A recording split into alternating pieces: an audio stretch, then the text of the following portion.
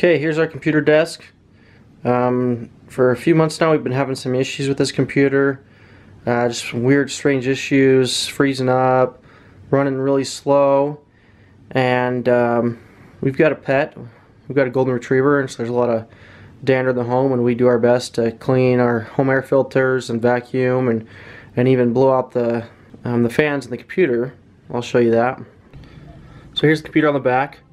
Um, for months, well for years now, as long as we've had this, we've been blowing out this fan here as well as the couple fans on the back. And uh, I thought that was sufficient but uh, in looking into the computer I realized there were quite a few more fans than that. And um, really when I became aware of our problem was we had a low chassis fan low RPM and that really really uh, kind of woke me up and kind of uh, uh, what's going on here. So I tore into it and realized that um, one of the internal fans was, had a dog lint on it. So here we've got this replacement fan. Go ahead and replace this tonight. I did pull that fan off and clean it off and I honestly I think that I've got some permanent damage done to the CPU. Um, I'm definitely not a computer guy, but uh, these are kind of just my assumptions and I'll take you along for the process as I learn how to do this.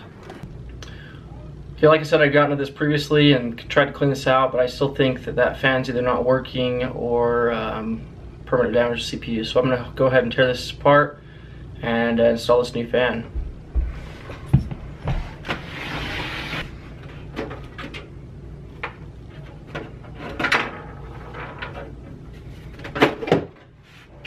Okay, so now that we're inside here, um, this is the fan in question.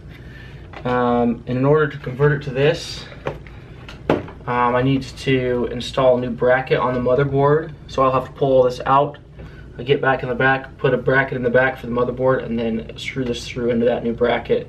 Um, this just has a simple uh, push and twist mechanism in it to hold it in place, just a little plastic clip. So um, basically when I was at the computer shop, they didn't have anything but this type, and they said this is a lot better. Um, I'm going to go ahead and pull the power here and then start turning into this. Okay, I've got an assortment of screwdrivers here. I'm going to take off some of these panels.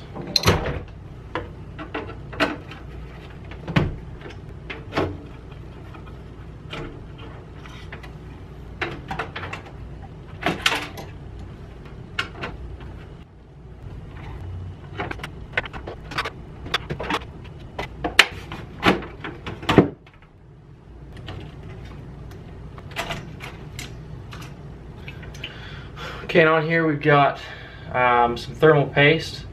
Uh, I did take this off last time, tried to put it on, bought one of these actually, and they was the wrong size. So in buying a, so I came back home, they were closed, and I ended up putting on this other one, um, this one back on. Um, so I put this thermal paste on, it looks like I put a little too heavy. I don't think it did any damage necessarily, but it definitely gooped over the edge, so this time I'll put a little less on. Um, hopefully this one fits and it's the right. The holes on that one were like a millimeter, two millimeters, maybe too big. It's kind of crazy that there wouldn't be more standardization between fans on the computers, but that was the case.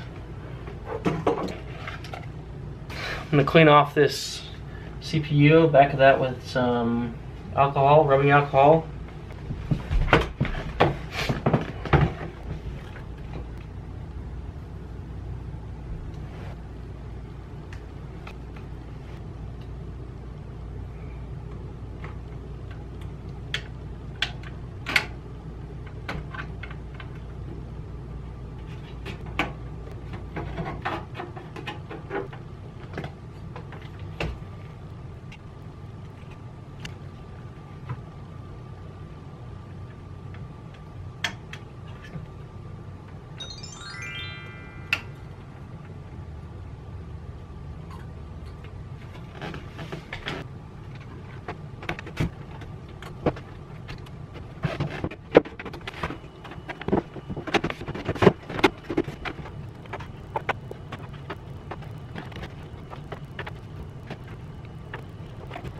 Okay, now for the moment of truth. Go ahead and power it up. I don't know if you noticed, but this is a TV screen we've got as our computer, just hooked up with HDMI cable. So we we like having that.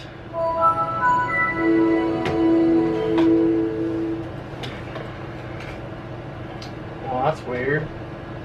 So the I don't know why, but we've always had this on-screen keyboard that pops up, and it only has tab, enter space, the arrows, page up, page down. There we go. That's weird that it was only part of it. Okay, well, seems to be working okay.